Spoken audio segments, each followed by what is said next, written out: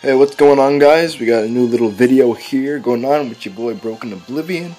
Uh, pretty much what this video is, I'm just trying to go show you guys a little tutorial on uh, how to farm heart scales, and it is really simple. Uh, I just hold on my phone up here because I didn't want to set up everything. Just to show you guys a short video, but I'm gonna get right to the point. I'm not gonna um just talk about random stuff. I'm gonna get right to the point here. So um, what you're gonna need, you're gonna need a uh, a um, I prefer to use uh, I forget this thing is called Noibat. You, yeah, you need to have a Noibat, and what you need to do, um, you have to give it the move Thief and Fly. Well, you don't have to give it Fly. I just put Fly on there because um, it's it's easier to get around to this place I'm at, which is I will show you guys on the map where this place is. Cause I, I totally forget the names of these dumb places. Like that's why we got Fly too, because Fly could just show us where where we are on the map. Oh, I can show you guys where we are in the video.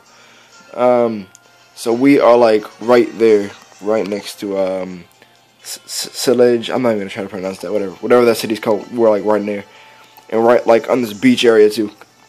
So when I come out on the beach, um, I just go right here, and then what you gotta do now is okay. First, I need to get the item. I need to take the heart scale off of my Beach Badre.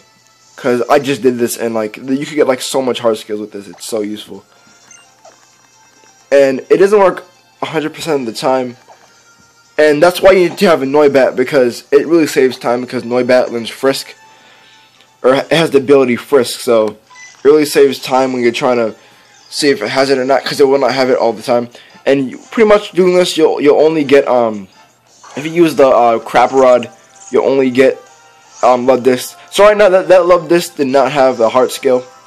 As you know that because the frisk didn't activate. Because when the frisk does activate, it means it does have a heart scale, so you're good to go. And um, I actually do not think this is this will not work if it's raining. Actually, you'll get like some other Pokemon. I think you get like pellet. No, no. Um, I think you'll get like uh, Tentacruels and shit. But when it's not raining, you're just gonna get uh you're gonna constantly get these Luvdiscs that will hold the heart scale. And like I said, it, it doesn't hold them all the time. So uh, this one, this one might work. It definitely, it will definitely give you one eventually. It does not take too long because I just got one like twice in a row. And it isn't like a rare chance like the shinies are. It's like it's like it's common, like right there. Yeah, there you go. So yeah, it holds a Luvdisc. I mean, it holds the heart scale. And right now, all you gotta do is just go for Thief right now.